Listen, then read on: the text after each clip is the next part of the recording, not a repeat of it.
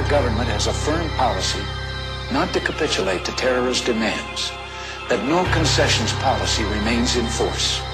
In spite of the wildly speculative and false stories about arms for hostages and alleged ransom payments, we did not, repeat, did not trade weapons or anything else for hostages nor will we. The ballad of the bullet, some some bullshit. Will we ever do it big or just keep settling for little shit? We brag on having bread, but none of us are bakers. We all talk having greens, but none of us own acres. If none of us own acres and none of us grow wheat, then who will feed our people when our people need to eat? So it seems our people starve from lack of understanding. Cause all we seem to give them is some ballin' and some dancing. And some talking about our car and imaginary mansions. We should be indicted for bullshit we inciting.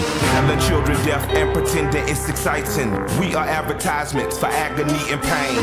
We exploit the youth, we tell them to join the gang. We tell them dope stories, introduce them to the game. Just like Oliver North introduced us to cocaine. In the 80s when them bricks came on military plane.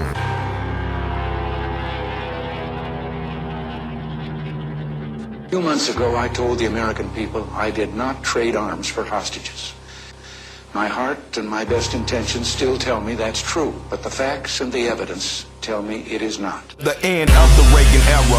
I'm like Lemma 12 old enough to understand the shit had changed forever. They declared the war on drugs, like a war on terror. But what it really did was let the police terrorize whoever. But mostly black boys, but they would call us niggas and on our belly while they fingers on their triggers. They boots was on our head, they dogs was on our crotches, and they would beat us up if we had diamonds on our watches. And they would take our drugs and monies as they pick our pockets. I guess that that's the privilege of policing for some profit. But thanks to Reaganomics, prison turned to profits. Cause free labor's the cornerstone of US economics. Cause slavery was abolished unless you are in prison. You think I ambush it and then read the 13th Amendment. Involuntary servitude and slavery it prohibits. That's why they giving drug offenders time in double digits. Ronald Reagan was an actor, not at all a factor.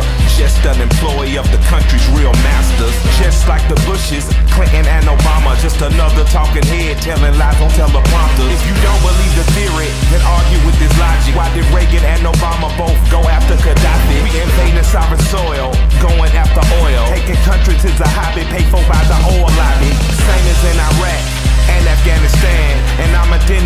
say they coming for Iran. They only love the rich and how they load the poor. If I say any more, they might be at my door. Who the fuck is that? Staring in my window, doing that surveillance on Mr. Michael Render. I'm dropping off the grid before they pump the lid. I leave you with four words. I'm glad Reagan dead.